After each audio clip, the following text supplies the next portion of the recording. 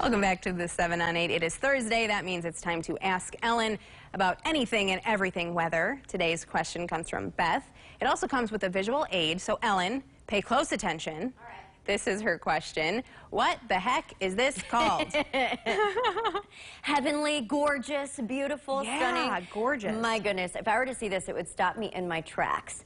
Not only is this a beautiful optical phenomenon, it's incredibly rare. So occasionally, here in West Michigan, we'll get pictures in from people of this portion of, the, of uh, this optical phenomenon. This is the 22 degree halo. So sometimes when you see a halo around the sun, that's this portion. And then notice the extra splashes of color on either side of the sun. Those are sun dogs. So occasionally here, if conditions are right, we will get some of these splashes or some of these features.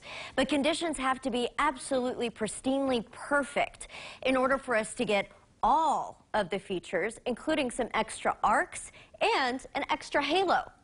So if I show you what these features are, you can look very closely and see that we have sun pillars on either side of the sun. We have an upper tangent arc. We have a circumazimuthal arc, it's hard to say, and a 46 degree halo.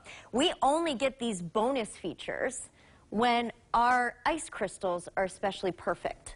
So anytime you have hexagonal ice crystals in the sky, they usually can create the 22 degree halo or the sundogs.